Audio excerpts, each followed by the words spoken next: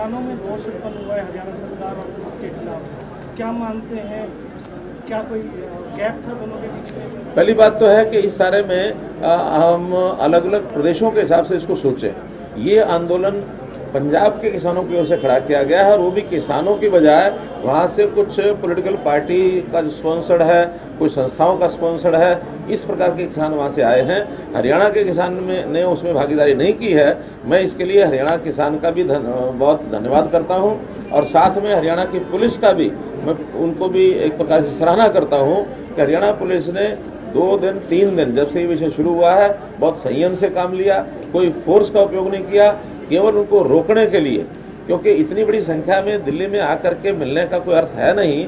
हमने पंजाब के किसानों को अपील की है कि उनके प्रतिनिधि सरकार से बात करें।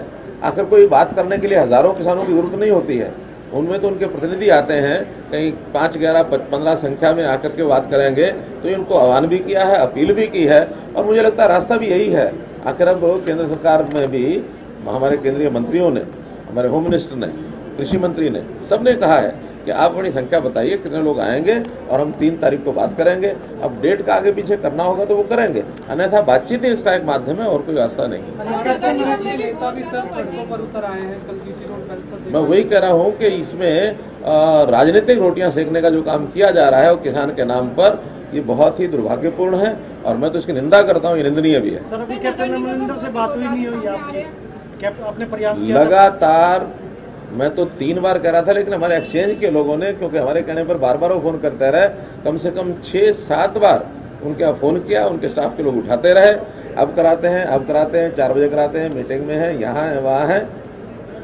यानी बड़ा अजीबो गरीब स्थिति के एक मुख्यमंत्री, दूसरे मुख्यमंत्री को बात कर रहा, आज तक मुझे छः साल के इतिहास में ऐसा कभी नहीं आया।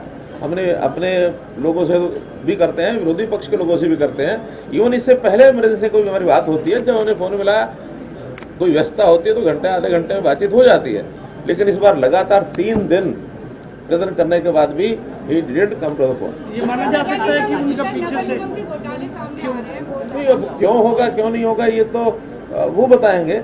मैंने तो खुले रूप से सार्वजनिक तौर पर माना जा बताया सकता है उनकी साजिश है पीछे से। है है उनके ऑफ़िस के कार्ड होल्डर ये इस अ, इस आंदोलन के अंदर लोगों का प्रदर्शन करते रहे हैं कि आप इधर आइए अब आइए आगे आगे लीड करने वाले उनके ऑफ़िस के लोग हैं? लास्ट